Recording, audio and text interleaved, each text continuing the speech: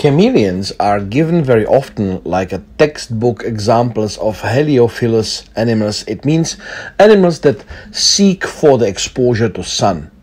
Like in many cases, chameleons fool us badly in this situation because they expose themselves to sun only very shortly, usually early in the morning, and the rest of the day they do something completely different.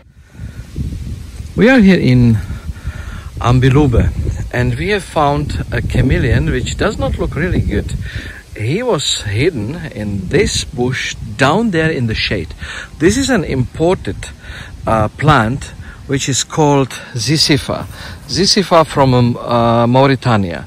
This plant does not have anything uh, common in Madagascar.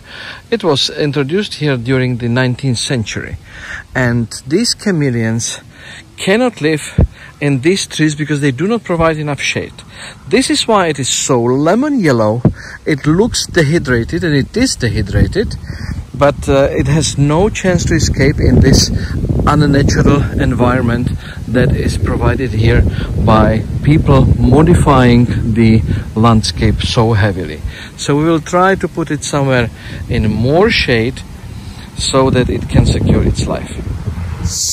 The first thing what a chameleon starts to do if you put it on sun is to hide in shade.